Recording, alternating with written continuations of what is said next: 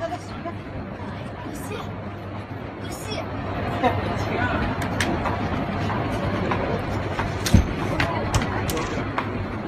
妈妈啊哎呀妈呀破了破了还是怎么着了是因为那天是六一儿童节然后呢又临近那个端午节然后那个商场它是在一个它的空中走廊装置了一个就是类似于旋转的风车风车外侧有那个铁的栏杆儿，比把那个风车隔起来了。嗯然后我女儿她是摸到了铁栏杆儿触电了。哎呦妈呀，给电破了。破着了还是怎么着了？现在我看这个啊，事情快来！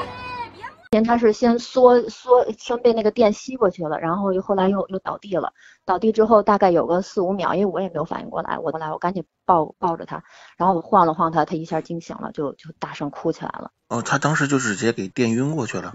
对，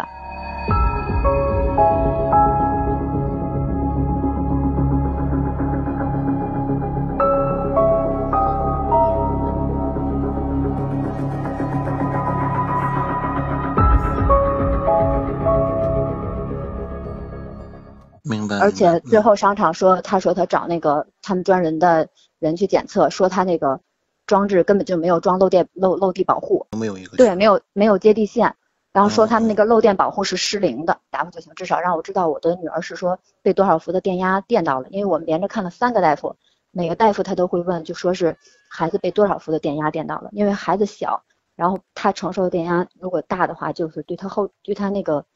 心脏以后，然后会有很大的影响，有嗯可能是当时是看不出来的。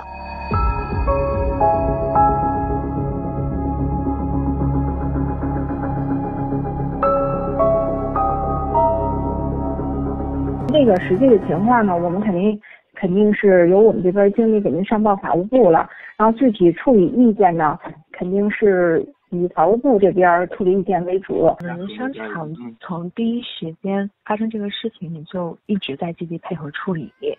啊，一切都是为了孩子最安全的这个角度。